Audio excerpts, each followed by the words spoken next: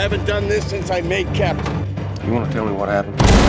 It's on the incident report. I read the report. I'm asking you to tell me in your own words. How come you killed him? You told Dan that I killed Dad?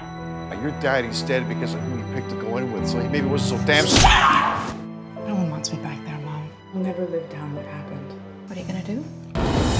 Smoke jumpers need to be at least five feet five inches tall I'm 5'8". and 125 pounds. That rule is meant to exclude people who can't handle the physical demands of one of the hardest, most stressful jobs on the planet. I can do this job as well as any guy you've got. Prove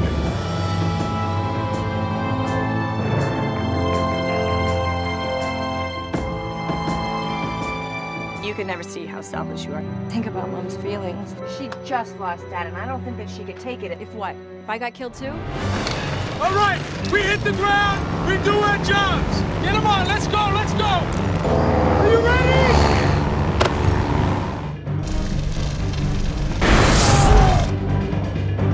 Pull him up!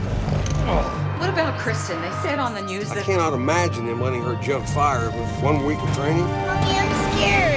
I know, it's okay, we're gonna be home soon. I, I, I just need to know something. My other daughter is. middle of a big fire, man.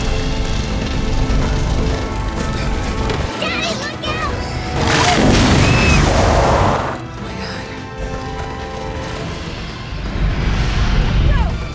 Let's go! Brooke Burns and Rex Linn. Trial